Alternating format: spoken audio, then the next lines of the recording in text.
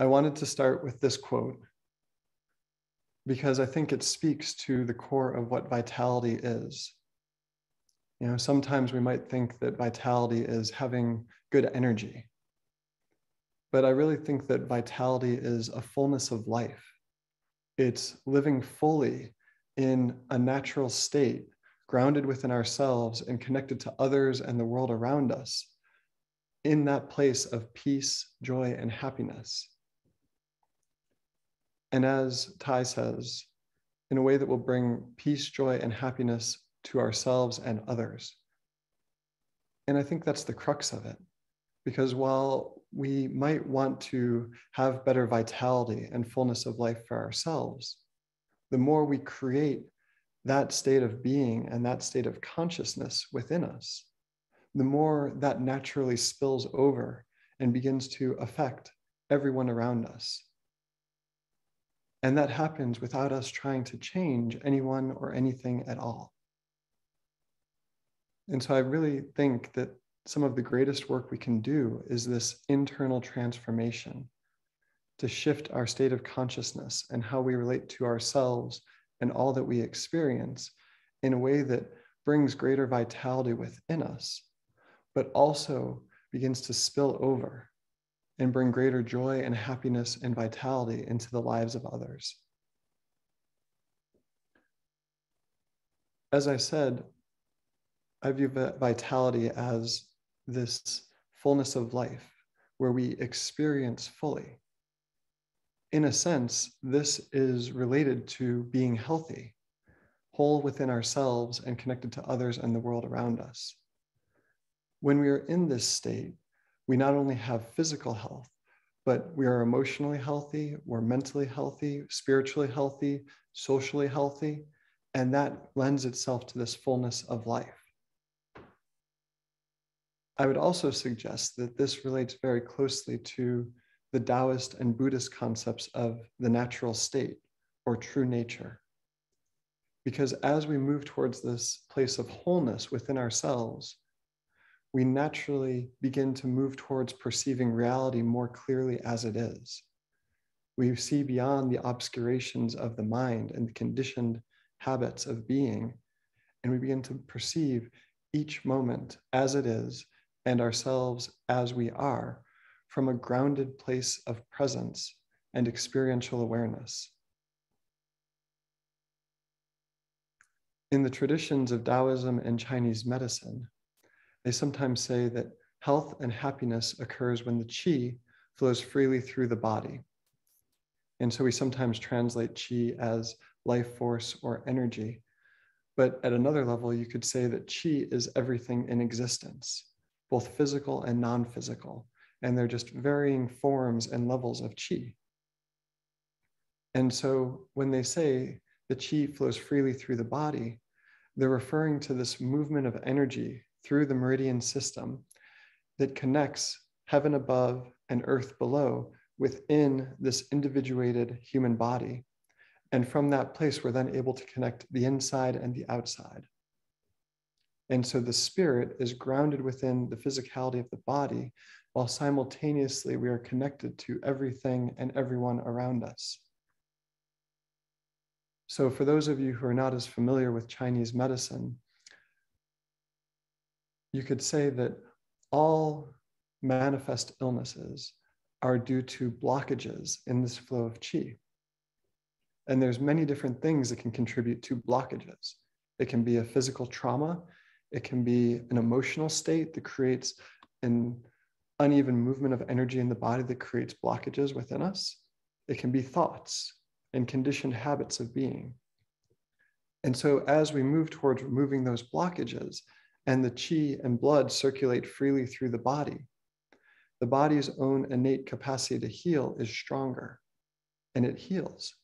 We heal, and as we heal, we become more whole because all of the different multidimensional aspects of ourselves become more integrated and harmonized. And as that occurs, it's similar to the removing of the obscurations from a Buddhist perspective, where we begin to be more and more in the present moment, grounded within ourselves and experiencing everything with that fullness of vitality. When we are in this natural state of the chi flowing freely through the body, the physical body is relaxed and at ease without the presence of any unnecessary tension or guarding. At an emotional level, we experience emotions in the moment without attachment, allowing them to pass through our being and letting them go. At a mental level, one's mind is quiet and still, with crystal clear insight into anything that we direct our mind to. When we are in this state, life becomes more full and beautiful. We're able to pierce through the veil of Maya, of delusion, and see clearly the beauty that is always inherently present in this moment. Being human, it's easy to get caught by attachment and aversion, by fear, by emotions. And all of those things take us out of that presence. But as we work to ground within the present moment by being aware of our physical body, by following the breath, it begins to clear the path so that we can see clearly that while we might have these difficult moments or experiences, we are all impermanent, multidimensional, complex beings that are continually changing and that we are all part of this dance of continually changing form in the outer world. But while things are continually changing in the outer world of form, we are always inherently connected to the source within. And as we learn to relax and trust more and more in that source, we soften into our true nature. As we do so, love, compassion, and wisdom naturally arise we become more peaceful. We create this atmosphere around us that begins to affect others. And as they say in Taoism, the sage does nothing, but nothing is left undone. This can be compared to relaxing into the state of being and letting go of the doing, trying to change things in the outer world to affect our experience. As we relax into this source within us, we realize that our core nature, our true nature, is stillness and light and love.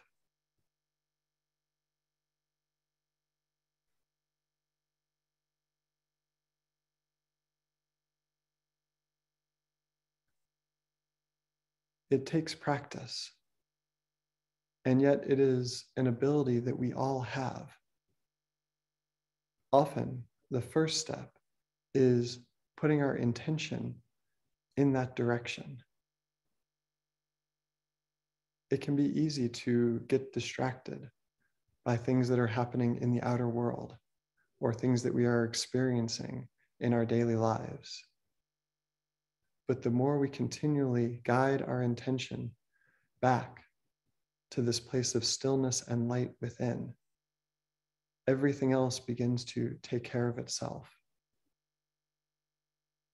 As Jesus said, Seek ye first the kingdom of heaven, and all these things will be added unto you. And this is a theme in many different traditions that when we seek the source, when we move towards our true nature, everything else naturally comes of its own accord.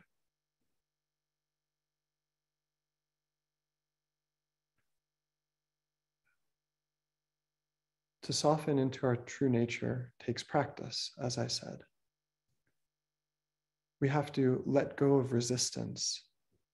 We have to let go of the magnetizing pull of attachment and aversion that keeps us entangled in the outer reality. Often, what can help is things that help us move from the sympathetic nervous system, the fight, flight, and freeze response, to the parasympathetic nervous system, the rest, digest, and heal. In modern society, it's easy to be caught in a continual sympathetic loop because there's always so much that we feel we have to juggle and deal with. There's financial stress and job stress and driving in traffic and all of these things that can keep us continually in the sympathetic nervous system. But when we're in the sympathetic nervous system, our mind is often hyperactivated. We are caught by the mind and we're more externalized in the outer world because we're trying to manage these seeming threats that might be coming our way. When we shift into the parasympathetic nervous system, our awareness moves more deeply into our body and we begin to ground and relax in the place of presence, of being with each moment as it is.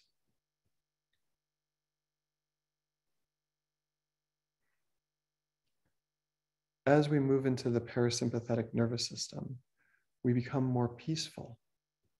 And simultaneously, we experience things more fully. You know, it's an interesting facet of being human that we cannot shut down our experience selective, our ability to experience selectively. And so often, as we go through our lives, many of us experience more and different forms of trauma physical, emotional, psychological, relational. And as we experience those different forms of suffering and trauma, we will tend to resist more. And that resistance begins to slowly inhibit our capacity to experience. We end up blocking out not only difficulty, but actually we inhibit our ability to experience beauty and joy and happiness. And so, as we begin to cultivate this level of stillness and move towards that inner world, towards our true nature, we begin shedding these layers that we have built up over time as defense mechanisms. And it opens our ability to experience the joy in life more fully. And I know this can be difficult, especially when we have moments of experiencing pain. And yet, pain can be an incredible teacher. And it's a matter of shifting how we stand in relationship to it and trusting, having faith that we always have what we need in each moment. You know, the difficult moments in life are often part of what lead to growth. Sometimes I think that in modern society, we conflate comfort and happiness. And we think that happiness is the avoidance of suffering. And while there's nothing wrong with experiencing times of comfort, at the same time, if we focus solely on comfort and safety and avoiding difficulty, challenge, and suffering, we actually shut ourselves down more and we stop growing. You know, I think that happiness is this vitality, this fullness of life and experience where we are continually growing and evolving and moving more deeply into ourselves and becoming who we are meant to be in this world as we do so, we bring forth that unique beauty that each of us is here to participate, to share, to contribute to the world. You know, it's like a symphony. We are all unique and we all are our own instrument and we all have our own note and song to play. And that can include times of difficulty and times of great beauty. But all of it combines to bring us this fullness of vitality and life.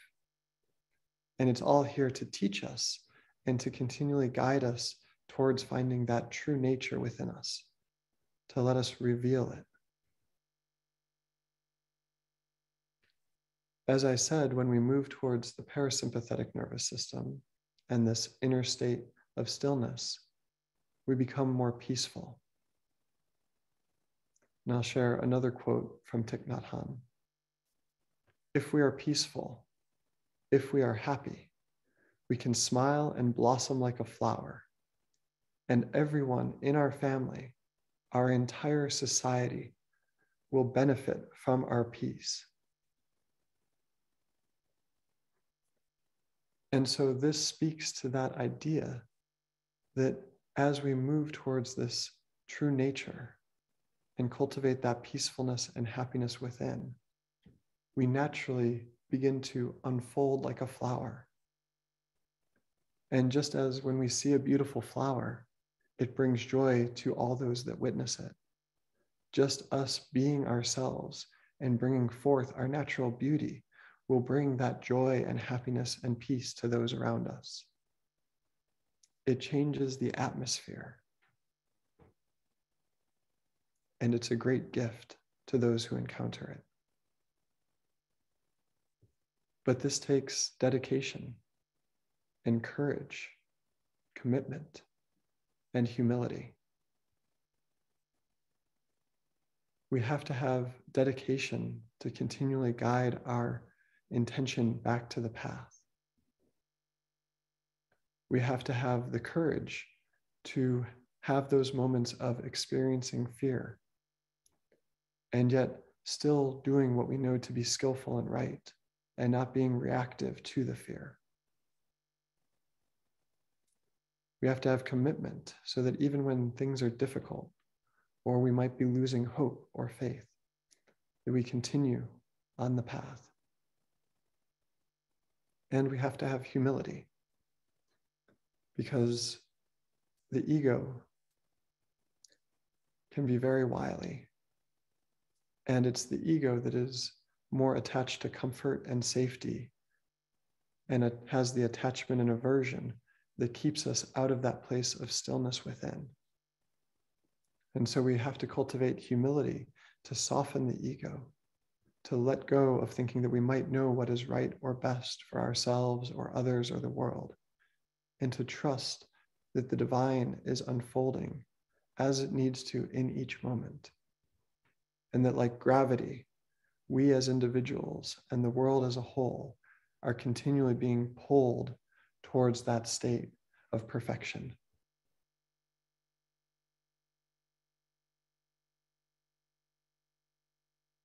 as I said earlier, it's important to let go of resistance. Coming back to the meridians and the flow of chi through the body, when we resist, it creates stagnation and stasis. It impedes the natural flow. Who was it? I think Ram Dass, who coined the phrase, what you resist will persist. It's one of those paradoxes of life that when we resist something, we actually end up giving it more strength and power and it continues to grow. Whereas when we let go of resistance, things will move through and continue because everything is impermanent. It's also important to know that it's natural to have cycles. Cycles are a natural part of life from day moving into night, into day, to the change of seasons. And sometimes, being human, it can be easy to get attached to a conceptual ideal of how we think we are supposed to be or the world is supposed to be. And when we get caught by that conceptual ideal and strive after it, it often impedes the natural cycles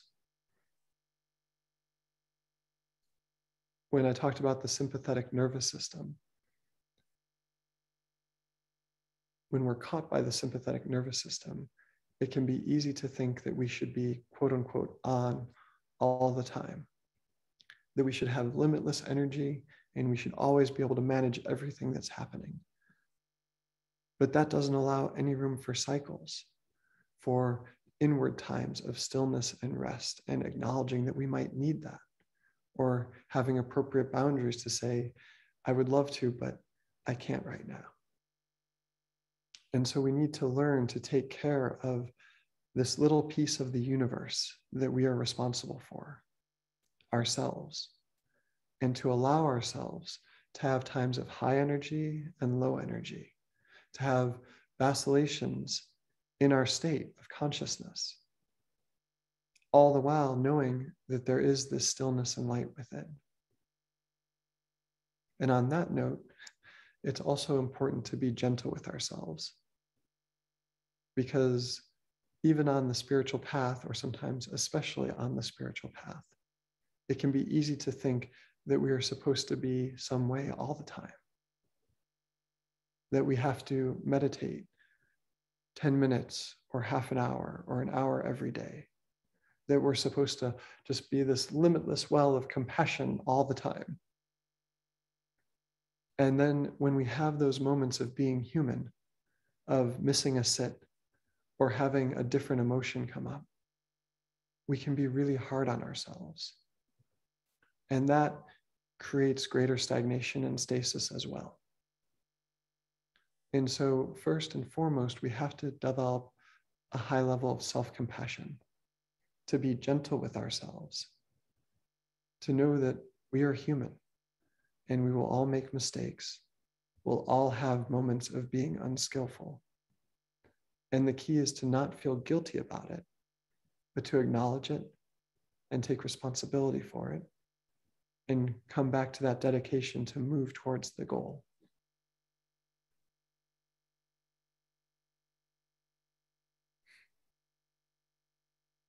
As I said at the beginning, this is a process of softening into our natural state, into our true nature.